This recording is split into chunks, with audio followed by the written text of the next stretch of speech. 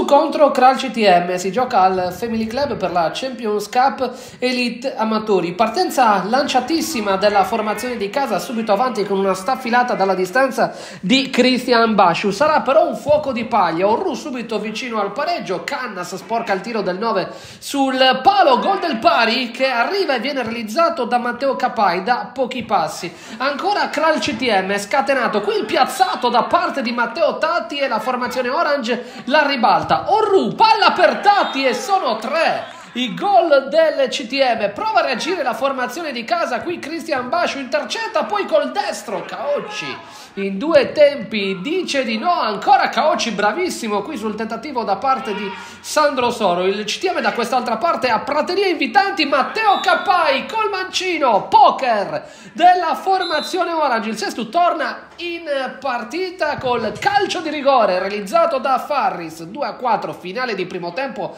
pirotecnico il quinto gol del CTM viene realizzato ancora da Matteo Capai poi Farris secondo rigore di serata 3 a 5 ancora CTM in avanti. Retroguardie un po' birichine in questo finale di tempo. Il gol del 6 a 3 lo abbiamo appena visto realizzato da Tatti. 9 gol in appena 25 minuti di gioco. Roba pazzesca. Sestuk parte meglio nella ripresa, il primo tentativo è quello di Cogoni che col mancino va a un passo dal gol, gol che invece trova da quest'altra parte Marco Ru, splendidamente trovato a centro area di rigore da Matteo Tati. Sul 7 a 3 però la squadra ospite si addormenta consentendo al Sestu di rimettere le mani quasi sulla possibilità di rimontare. Abbiamo visto poc'anzi il gol di Cogoni, questo è quello di Mulas per il 5 a 7, poi ci prova Bashu, conclusione di poco alta e qui il gol di Sandro Soro 6 a 7,